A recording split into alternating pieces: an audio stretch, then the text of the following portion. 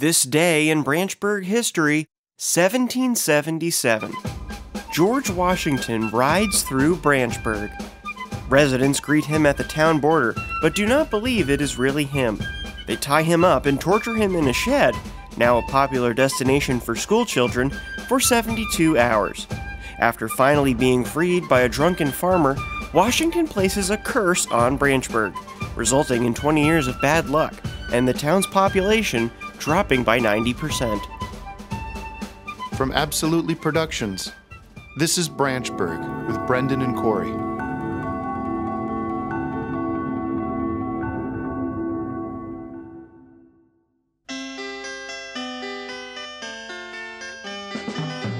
Well, the results for 8th grade class president are in.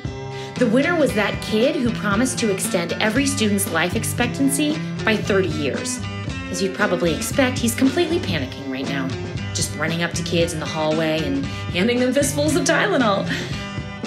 Someone should probably stop him, actually. I mean, I would, but, you know, I'm just a math teacher. Oh well, I should get back to grading papers anyhow. What the heck is this, Derek? You have to pay me $1 to unlock my answer to this question. God damn it. I've already spent about 300 bucks this year on this type of thing. I supposed to do? I'll lose my job if I don't give the kids grades. All right, let's see what I have in my wallet. Oh, well, just a five. Well, I can go to the faculty room, see if anyone has change.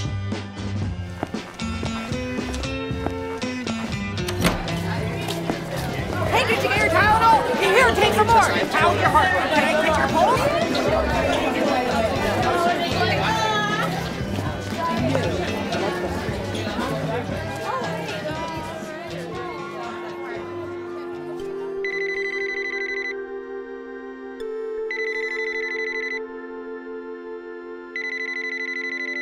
This is Cory. I'm not here right now. Just leave a message and I'll get back to you as soon as I can. Hi, Cory. This is Steve from Branchburg Auto Body. I'm calling to give you the estimate on your car. After replacing your front and back brake pads as well as rotating your tires, it's going to be about $3,000. Uh, I know this is a pretty steep price, but, uh, well, we lost a lot of good men on this job. Yep, a lot of good men. One of them, he had a heart attack while rotating your tires, worked here 20 years. Uh, another one slipped on some oil your car was leaking when he ran out to attempt CPR on the first guy, fell and hit his head, died on the spot. Damnedest thing. We had your car on the top rack. Uh, one of our guys was inside and forgot where he was, went out to see what all the racket was, and fell to his death. Of course, when he fell, he tried to grab the ceiling light, which broke off and swung onto another one of our men, which electrocuted him. Then another one slipped on the same oil from earlier when he ran out of the pro shop to give CPR to everyone, died. At some point during all this, one of our guys on the other side of your car slammed his hand in the door so hard the good Lord decided it was his time too. Yep, lot of good men. Our newest employee, Mark, he died in a car accident going to purchase your brake pads. He actually crashed into another one of our guys who died as well. He was coming back from lunch. So after them, it was down to just me and Todd. And to be efficient, Todd put all four of your tires around his waist, but then he tripped and rolled out into traffic, got hit by an 18 wheeler, died. So I'm the only one left. I guess you could argue that none of these deaths are really your fault, but then again, they all involve your car in one way or another, so. Look, I, I'm really doing you a favor here. I'm calling you before I even call their wives. Uh, I know you only dropped the car off here this morning, but yeah, it's gonna be about 3,000. Eh, Maybe I can get you to 2,900. Uh, just give me a call back. Thanks.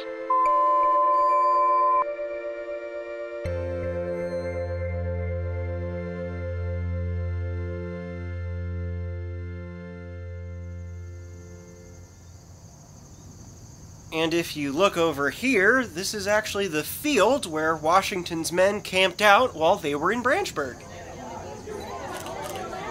Hey, what are you guys doing over there? We beating up somebody? What? No, this is a, a Branchburg Revolutionary War walking tour. Revolutionary War? Ha! You know the Revolutionary War was just an old wives' tale to get children to pay their taxes, right? What? Of course, it was first propagated by the U.S. Postal Service. Stamp loving bastards. Naturally, I don't believe in government IDs. I keep a mold of my teeth in the attic if someone truly needs to identify me. Sir, do you need something? Yeah! Does anyone here know how to reshingle a roof? My last guy just fell off!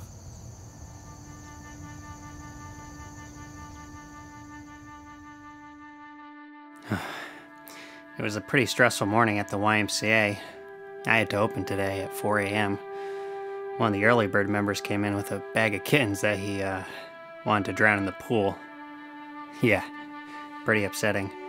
Only other coworker was in the bathroom crying. The guy kept saying, I don't want to do it either. There's just too many of them. Well, of course I couldn't let him do that. I tried calling the pet shelter, and they weren't open yet, so now I've got these 14 kittens running around my house. I, I thought it would be fun, but I think I, now I know what that guy meant. I, I, I mean, I'm definitely not like that guy, but, uh, well, you know, this is a lot. well, Ted, got what you wanted. Wanted to impress the new coworker. Look like a hero. And you learn she has a fiance. Rats. Maybe I can drown half of them? No, that would be it. Well, I can only go through so many couches. Uh, can't drown a cat because of your couch. Can you? Maybe it's different if it's leather, but hmm, again, mine isn't leather though. So, uh, actually, is it leather? It's a hybrid of some kind. Hybrid of what? What kind of materials is this stuff? What's it made? The Branchburg Police proudly announces a new mascot. He's a little hot dog guy that one of the sergeants found in clip art. He's got a big smile and he's covered in ketchup and mustard, and he's now the face of the Branchburg Police. If any Branchburg residents have names for the little hot dog man, please call 911. Right now, the leading name is Officer Mascot. Steve, how's it going? It's Cory, just returning your call. Good to hear you fixed my car. Listen, it's kind of hard to hear most of your message. My grandson Dennis turned my kitchen into a place to practice his Muay Thai. I know it's hard to believe I have a grandson since I'm 25, but I married an older lady, and well, package deal, I suppose. Parenting is a young man's game, Steve, and the younger you are as a grandfather, the better. Of course, Dennis is different from most children. Responds and snorts. I don't know. Anyways, how are you doing? Oh, that's right, this is a voicemail. Anyways, give me a call back when you can. Sorry your employee quit. Sounds like a toxic guy. I need to get Dennis out of the house, so maybe he'll stop by and apply. Would you do that for him? Thanks, Steve. Dennis! Hey, Dennis! I got you a job as a carpenter or something.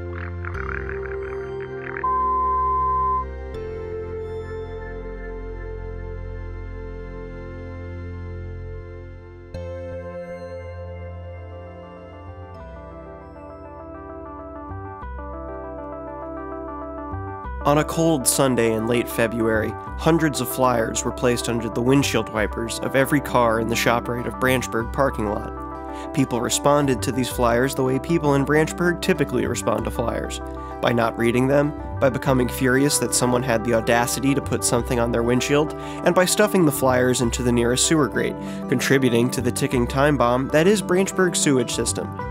But had they taken the time to read the flyer, they would have realized that something remarkable was going to occur the following week.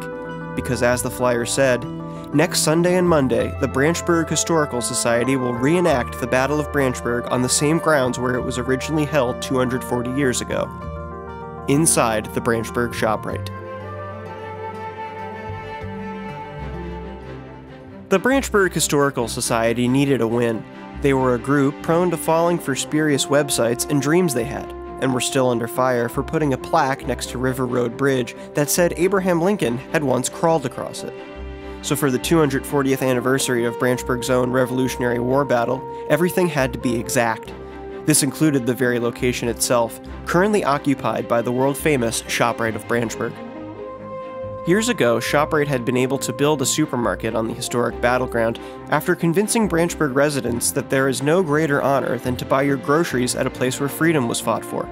Everything hinged on their participation.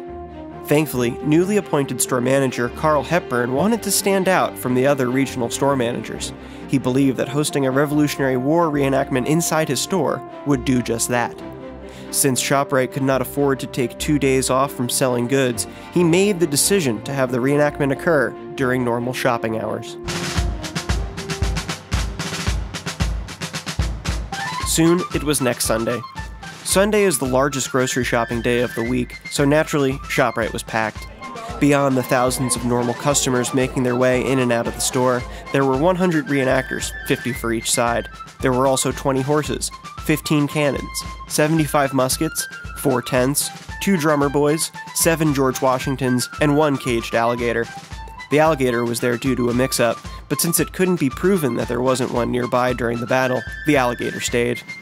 Today, groceries and history finally collide. Hepburn said at the opening ceremony, standing on top of the deli counter and wearing a pirate costume, the closest thing he owned to a Revolutionary War outfit. ShopRite was a large part of the American Revolution, supplying both armies with food, and we are honored to host today's fake battle. When someone pointed out that ShopRite was founded six months ago, which was not true, but the point stood seeing as ShopRite was founded in 1946, Hepburn pretended he had gotten stung by a bee and ran away. The opposing armies then took to opposite sides of the store. The British stood in the frozen food aisle, and the Continental Army stood in produce. All around them, customers continued to shop. Soon, a Make a Wish child from Branchburg Hospital blew the first horn. The battle began. The two armies charged at each other. Some shoppers who had not been paying close attention thought ShopRite was being invaded, so they grabbed their items without paying and fled. Every square inch of ShopRite contained a scene that any painter would kill to paint. Shopping carts were used as prisoner of war camps, and sample tables were raided at bayonet point. Horses strode up and down the aisles, crushing loose cereal and tortilla chips underneath their hooves. Children fed lunch meat to the alligator, and the eight year old drummer boy for the British set fire to a car in the parking lot. A decorative inflatable football character was slashed with a bayonet by a colonial reenactor, who then wore it as his skin for the remainder of the day. At some point, manager Carl Hepburn reemerged, crawling away from the bakery with blood pouring out of his stomach. Course, this had nothing to do with the battle. He had just tried to make cookies for the participants, and things had gone wrong. One soldier fired a cannon at the lobster tank to the cheers of nearby shoppers. None of the reenactors were using live ammo, but he had put a pomegranate in the cannon. It was an orchestra of supermarket destruction, and every item in the store was being used as an instrument. The only time it stopped was when a child threw a tantrum, and everyone paused to take a knee, similar to how athletes do when a fellow player tears their ACL. As mentioned before, there were seven separate reenactors pretending to be George Washington. This was intentional. Washington is the most important figure in any Revolutionary War era reenactment, so the Historical Society was taking no chances with illness or stage fright. All seven Washingtons showed up, and after spending three hours arguing over who got to be Washington, they eventually decided to team up and form a new army, the George Washingtons. They surrendered after 30 minutes and were locked inside the janitor's closet. Of course, at no point during the real Battle of Branchburg did seven George Washingtons get locked in a janitor's closet, but for the most part, the script of the real battle was followed to a T. The British took the early lead, then the colonies went ahead, then the British pretended to all be dead before launching a sneak attack, then the colonies also pretended to all be dead before launching a sneak attack of their own. But some liberties needed to be taken. The incongruities in technology were mostly ignored, except for one reenactor who stared in amazement at a checkout line conveyor belt the whole time. Then again, it was not entirely clear whether or not he was playing the part of someone from the 18th century or someone from today who had just never seen a conveyor belt. The real Battle of Branchburg lasted two days, so the soldiers were allowed to stay in the store overnight. Multiple campfires were set up throughout ShopRite. Smoke alarms blared, but no one paid them any mind, as the reenactors had taken to various ways of occupying themselves. Some played cards, some gnawed on loose grapes. A colonist got locked in the freezer while looking for food and got hypothermia. For accuracy's sake, his foot was amputated by the deli slicer. Take me to the hospital! Manager Hepburn wandered around wearing period appropriate pajamas and held a candle on a small plate. But when asked, he said this was something he did normally. A couple of the reenactors snuck out and went to the nearby Stone Mill Tavern, but when they came back, they were called deserters and hanged from the ceiling by their feet. At some point, the alligator escaped from its cage and made a nest in the sewer amongst the discarded flyers. The people of Branchburg later convinced themselves that this was environmentally friendly. Around 3 a.m., a burglar attempted to break into the store, and the two sides teamed up to stop him. They tied up the unarmed 16 year old and threw him into the small pond at the front of the ShopRite. No, work here! I'm a night! It was a moment of unity amongst the chaos of war, the type of thing that makes one think a better world is still possible. Just how different would the Revolutionary War have been if the British and the Americans were fighting on the same side? Sunrise. Rays of newborn light ran through the store, and it made the tomatoes look gross. ShopRite reopened, and day two of the Battle of Branchburg began. The Make a Wish kid sounded the opening horn once more, then did a backflip, having recovered from his illness overnight. Then a reenactor turned the sprinklers on, ending the Battle of Branchburg the way it had ended 240 years ago, postponed due to rain. Historical reenactments allow spectators to view war without any of the actual horrors of war. It creates a perfect world, one in which there is still war, but during which no one dies, minus those who suffer unrelated heart attacks. It allows us to connect to our past while still being able to live in a world where we can get into car accidents. The stated mission of the Branchburg Historical Society is to make history come to life. In looking out upon the almost entirely destroyed ShopRite of Branchburg, watching the reenactors sit quietly in their respective camps as shoppers maneuvered their carts around them, the sprinklers drenching all of them, one cannot help but think they achieved this. At the very least, it led to manager Carl Hepburn getting a raise.